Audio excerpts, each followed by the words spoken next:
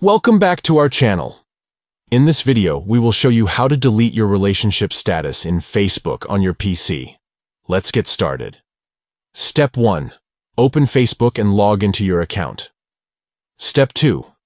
Click on your profile photo from the top right corner to open your profile. Step 3. Click on the About section. Step 4. In the Family and Relationships tab, click on the edit icon next to Current Relationship.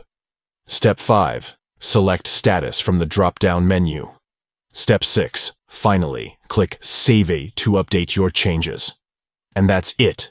You have successfully deleted your relationship status on Facebook. Remember, you can always update it later if you wish. Thanks for watching and don't forget to hit that subscribe button for more helpful tutorials.